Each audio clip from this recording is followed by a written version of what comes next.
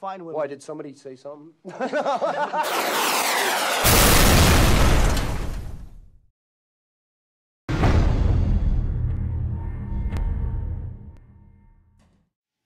Hi all. Well yes, it finally arrived. I've been waiting for this one for a while. I just have loved my Park Zone Radian, my Park Zone Radian Pro. Then they bought the E-Flite UMX Radian out.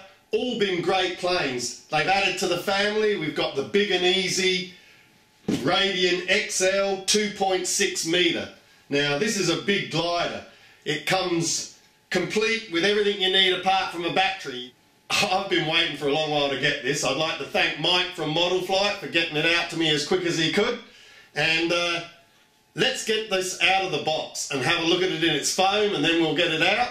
We'll build it, we'll bind it, and then the next video will be flying it. Well, there it is out of its box, and as you can see, packed as it always is really well. Uh, this is a big box, it's a big plane. Um, let's get it out of this foam and we'll get it on the desk and have a good look at it. Okay, here it is all out of the box. Now, this new Radian XL, 2.6 metre glider, as we know, it's got a huge middle section here. Let me give you a better view.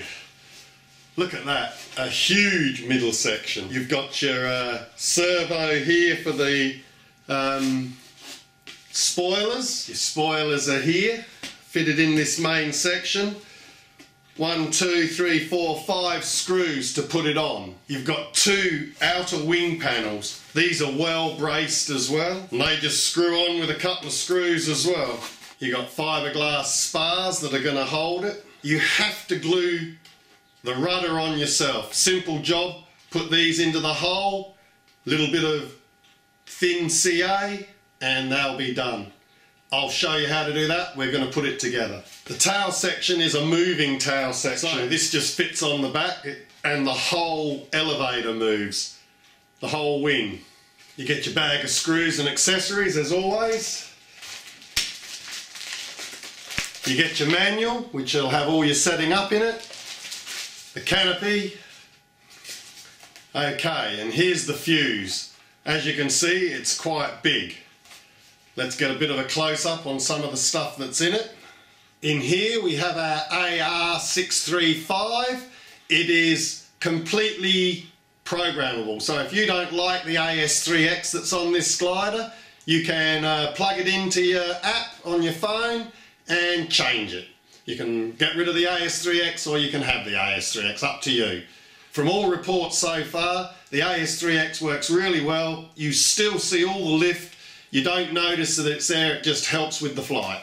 We've got a big area up front here for your battery. It takes a 3200 battery, 3S. Folding props, big motor in there. The ESC is underneath, you can see it through there, it's underneath here.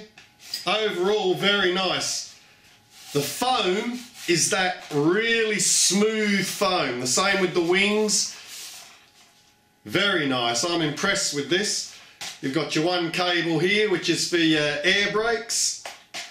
You also get some stickers for the bottom of your wing. Some people like to have the black stickers underneath so that you can see it easier in the air. I know I'll be fitting something like this. Okay, we've looked at it all. I think it's time for me to put it together. So we'll get it together now. I'll show you how it goes together and uh, let's get on with it. First up, we've got to fit the rudder. I've slotted it into spot. I'm putting it into space. It says to do that. It says you should use a credit card to get credit card in there just to give you the distance that it needs. So just give it a little bit of credit card movement there. Double check that. Get some thin CA.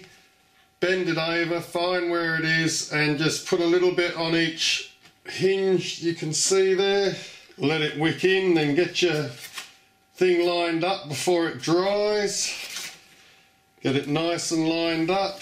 Again just get that credit card in there. Just get that credit card bit of distance there. That gives you a nice turn. There we go. Right that's looking good. Nice and even now we just let that part dry okay when that side's dry turn her over and do the other side. Just open her up, let it wick in there. Just let it wick in. It should already be pretty well held. But you're just going to wick it in some more. Right, just let it wick in there. Make sure she moves. Okay, that's that part done. Well, let's let that dry. Now, we're going to fit the elevator tail section because remember the whole tail is moving. Put one side in and I'm going to screw that side in and that side will be left in always because uh, you don't need to take both sides of these out each time you take it apart for storage and what have you. Now something to remember is read the manual. There is two different sizes of screws. It doesn't tell you whether it's front or back or back or front. I'm going to work that out by experiment. Hopefully I'll tell you. Well, that was really easy to work out. It's thicker up this end than that end, so the longer one goes to the front and the shorter one goes to the back. Tighten them down. So just line up the two holes over this side, push them through, and that's basically it done. All is what you've got to do now is put this side on and put your two screws in. I'll do that now. Okay, remembering the big one to the front, the little one to the back. That's now done. Now I haven't connected this uh, rudder up yet because I'm going to bind it first so that I can adjust it and get it at the right angle. Same with this here, we'll adjust that up the other end. So what I might do now is bind my DX9 to the uh, Radian XL so I can set up this back end. Okay, I've bound it and the air brakes are working. Okay, we've got the rudder working and the full moving tail. So there we go. That's all that you've got to set up. Okay, time to put the wings on. Well, the wing is real easy to put on. All is what you need to do is line up that bit there. We connect up our air brakes. Make sure you got the colours round the right way. Okay, tuck that all in up the front here because you don't want it anywhere interfering.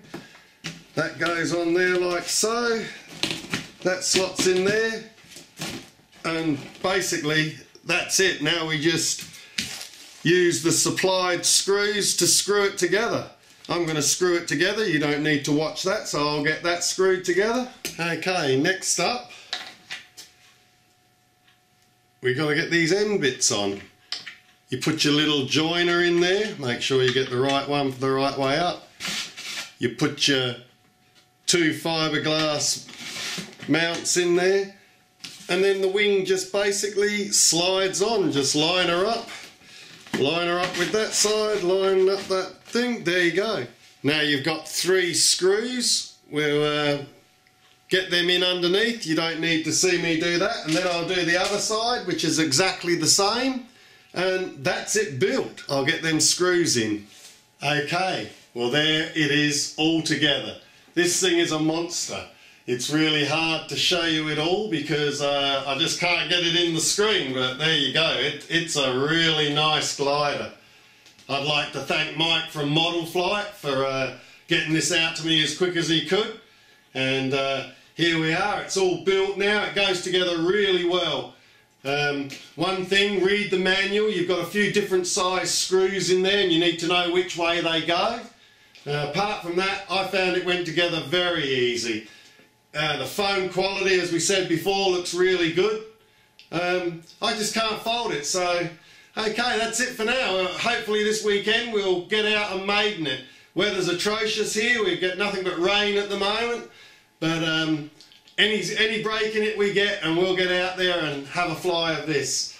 So that's it for now, thanks for watching. Hope you've enjoyed this little presentation and keep an eye out for that maiden flight.